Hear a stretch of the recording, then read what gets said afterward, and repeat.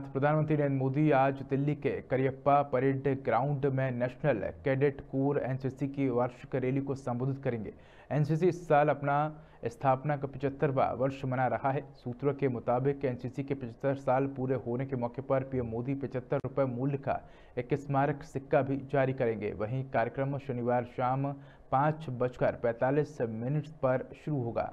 तो rally hybrid day और night कार्यक्रम के रूप में आयोजित की जाएगी और इसमें एक भारत श्रेष्ठ भारत विषय पर एक सांस्कृतिक कार्यक्रम भी शामिल होगा। वहीं वसुदेव कुटुम्बकम की सच्ची भारतीय भावना में 19 विदेशी देशों के एक सौ छियानवे अधिकारियों और कैडेटों को समारोह का हिस्सा बनने के लिए आमंत्रित किया गया है। बता दें कि पिछले बुधवार को यानी गणतंत्र दिवस की पूर्व संध्या पर पीएम मोदी ने एनसीसी के कैडेट और राष्ट्रीय सेवा योजना के स्वयं सेवकों को संबोधित किया था।